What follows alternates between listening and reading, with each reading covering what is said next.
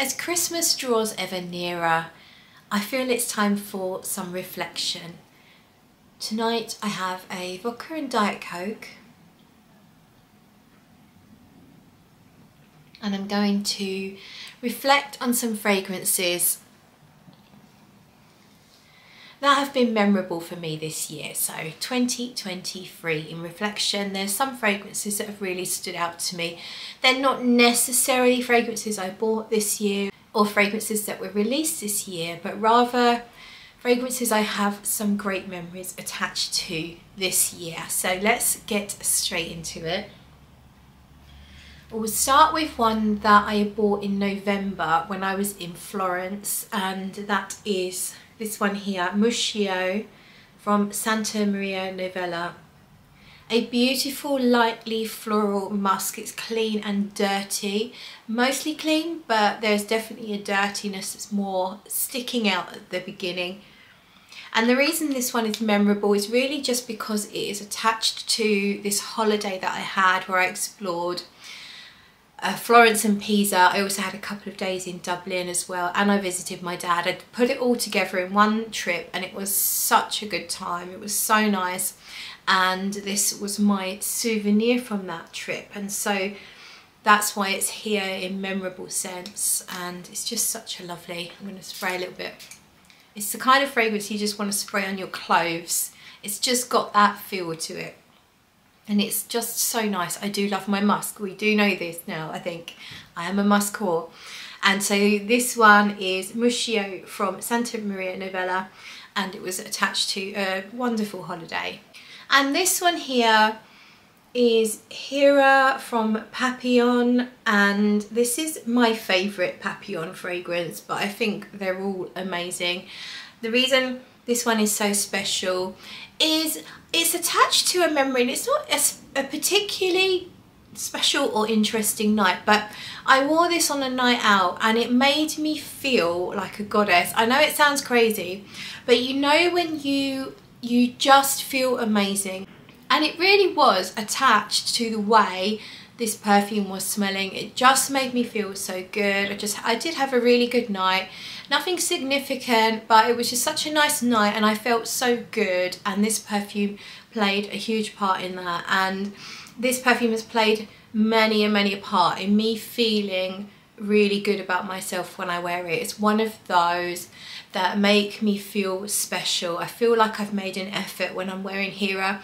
I've had compliments wearing Hera and I just absolutely love to wear Hera. I try not to wear her too often because she does feel very special. And if you don't know Hera she was actually created by Liz Moores for her daughter's wedding, her daughter Jasmine. It was a custom scent for her daughter.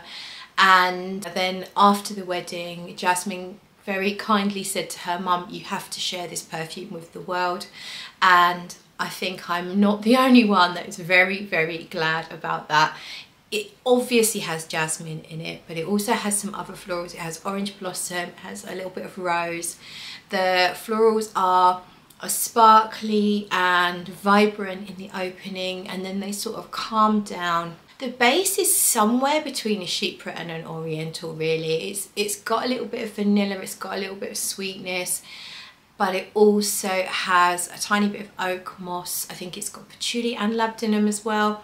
So it's quite rich, but it's not too sweet. It's just very, very special in my opinion. Very, very special. And it made me feel so good every time I've worn it. And so that is Hera from Papillon. This one was a gift, it's actually a Christmas gift, but I had to order it and therefore of course I had to open it and I've had to wear it. Uh, from my mum, it is Le Maroc Pour Elle. This one is memorable for several different reasons. A, it's a beautiful gift from my mum. B, I used to have it years ago, very, very early on in my fragrance journey. In fact, it's one of the fragrances that really marked the beginning of me really getting into fragrances. I remember very specifically having a sample that I bought from Les Senteurs in London. It was at the same time I got a sample of Portrait of a Lady and I loved them both. I couldn't decide which one I wanted Uh, I eventually got, I eventually had both of them. Uh, Le Maroc Pour Elle I had for several years. I talked about it on YouTube a lot very early on in my YouTube journey. There's some embarrassing videos of me talking about Le Maroc Pour Elle. Hello people, this is my scent of the night. I thought I'd bring it to you in video form. Um, so I'll start with what I started with because I've actually got two fragrances on. First off is this, um, I've only got a little bit left, Le Maroc Pour Elle by Andy Tauer and I started off, I was just going to wear that on its own because I love it. It's um, really rich, spicy, incensey rose that I totally am in love with. I'm definitely going to have to get a bottle of that. And Sweetie decided that we wanted to do a very quick scent of the day. I'm actually just off to work, I'm feeling a bit tired and a little bit despondent, so I've decided to treat myself to Le Maroc Pour Elle by Andy Tauer. That one, I've spoken about it before, just feeling a little bit today. Can't be asked to go to work, so me and Sweetie, we thought we'd wear something a little bit special. So it has lots and lots of memories anyway. And then of course, I, I, have wanted it for a year. So I think it was it was about this time last year, I got a sample of it, another sample from Les Senteurs. And I really absolutely loved it and I had to have it. But I've been very, very patient because it's not a cheap fragrance. And then eventually uh, my mum said, what do you want for Christmas? I said, oh, can I have some money please to put towards a perfume? And this was the perfume that I chose and it's yeah I've, and I've loved wearing it. It's quite intense. When you first spray it, it's very very strong. And I actually had someone tell me they didn't particularly like it on me. So it's definitely not a crowd pleaser. It smells quite incensey. It's rose and jasmine. It smells very incensey. Lots of resins quite spicy quite rich. For me I absolutely love it. And so that is Le Maroc Pour Elle Another fantastic memory from 23 is discovering the house of Dreamhouse Ikiryo. I really enjoyed, I was sent some samples from Maddie, the vegan perfume girl, and also Sarah Mayes. Sarah Mayes is the reason I was interested in Ikiryo. She absolutely loves most of their fragrances and talks about them often and I was so intrigued for so long but I thought they're based in the US. It's going to be a bit of a nightmare to buy them, to pay the shipping, to potentially pay customs. So I wrote it off. In fact, I remember looking once and there wasn't shipping available to the UK. But that has since changed.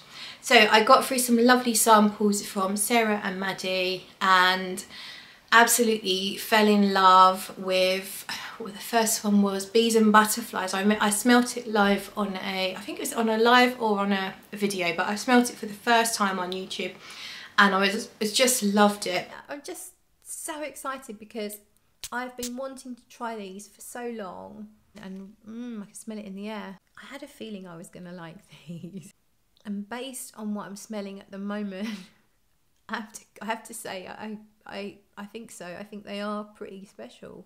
It's not what I expected. It's lighter.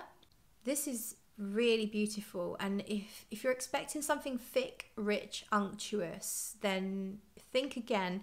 This is light like a butterfly. It's like a butterfly in a sweet shop. it's fruity, I get a light fruitiness, but it's all very gentle. Yeah, it smells like fruity fizzy sherbet, powdery butterfly wings, different colours, pastel colours. I love this. It is whimsical, it's ethereal, it's like being in fairyland. It's like what a fairy would smell like. That's what it is. And this one here at Beija Flor is sort of a flanker of bees and butterflies.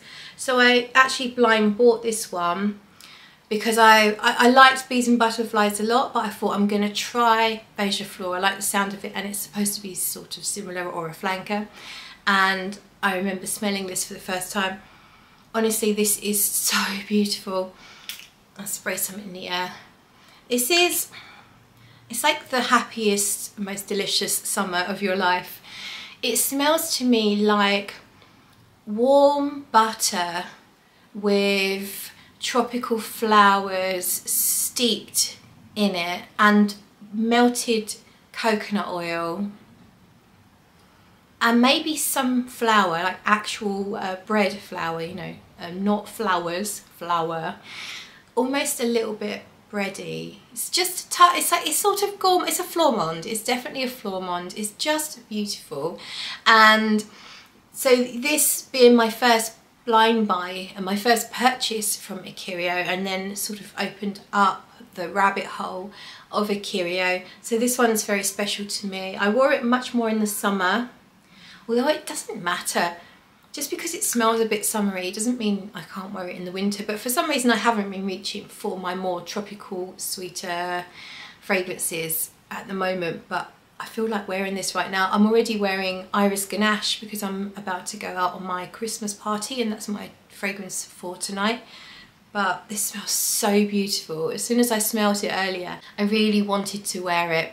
But I'd already settled on Iris Ganache, so I'm, I'm thinking I'm going to be wearing this one very, very soon. So that's Beija Flor from Ikiryo. 2023 was the year that my collaboration with 4160 Tuesdays was launched. We actually started it, uh, our chatting and, uh, and our ideas and, and everything started in 2022 but it was 2023 that it was made real and was delivered to people including myself and so this is Hush Hush. This is the Eau de Toilette because that was always my favourite version of the three. They're all stunning, but Eau de Toilette is the one that encapsulated my idea the most. And this is a musky iris uh, cigarette box. There's something minty about it. There's no mint note. It's almost like there's a box of minty cigarettes in here and it's, so it's papery. There's just a tiny bit of tobacco. It doesn't smell like a ashtray or anything like that. It's just a hint, a hint at an unsmoked box of cigarettes. And there's a tiny bit of rose, there's violet. It's definitely a violety perfume. It's a violety, musky, papery, slightly woody it's just lovely and it was just so amazing to be able to work with Sarah McCartney and for us to come up with this together.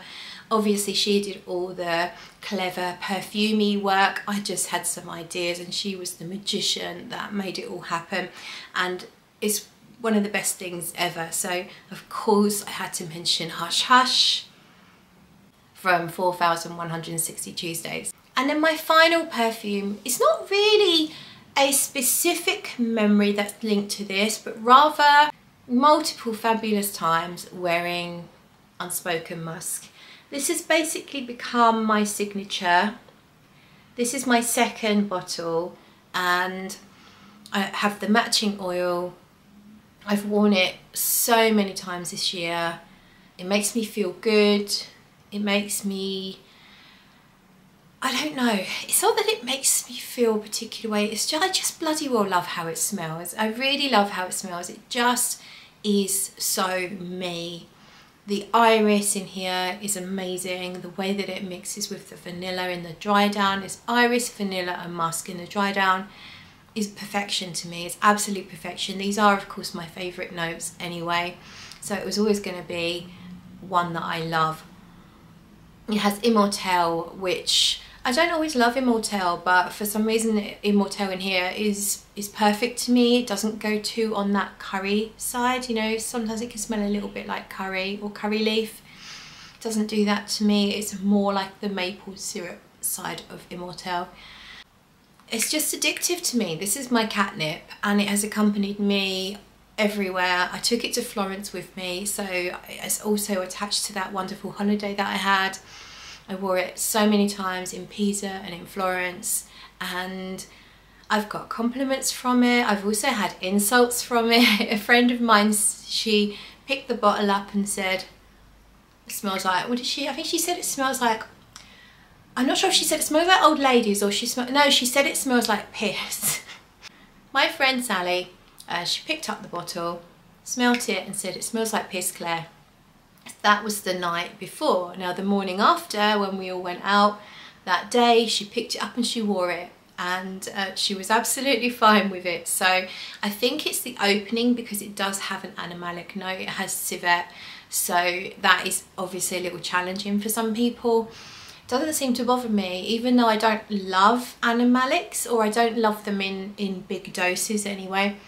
It It's absolutely fine for me. So yeah, I just love it. I, I, I'd say that I love the dry down more than the opening. I love it more when the Immortelle is slightly less noticeable and the Civet is slightly less noticeable. The dry down is really to die for. It's for me that iris vanilla musk combo is just out of this world. So I have absolutely loved Unsmoken. Unsmoken as a, as a flanker for Francesca to create. Unsmoke, unsmoken musk. Um, I've loved this, it's accompanied me through 2023 and it has been a very positive and happy constant companion for me. So that is it, they are my most memorable fragrances from 2023. I would love to know what yours are, so let me know in the comments and hopefully I'll see you in another video. Bye!